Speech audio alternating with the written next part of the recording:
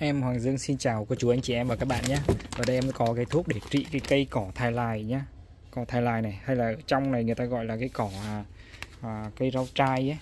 Cái gói này kết hợp cùng với một cái gói à, Ali để phun xịt cho cái cỏ thai lai nhé.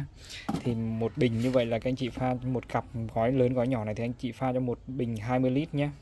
Phun xịt lên cỏ thai lai nó chết cỏ thai lai và đánh khô luôn cả cái cuống cỏ thai lai luôn nhé cái sản phẩm này thì ở như là Quảng Bình này Gia Lai, Đắk Nông và Bình Phước và một số tỉnh ở ngoài Bắc đã sử dụng cho cây thai lai rồi nhé ở chỗ ngoài Bắc thì sẽ gọi là thai lai nhưng ở trong miền trong thì sẽ gọi là cây rau trai nhé Cảm ơn cô chú anh chị em đã xem video và hẹn gặp lại cô chú anh chị em ở video sau.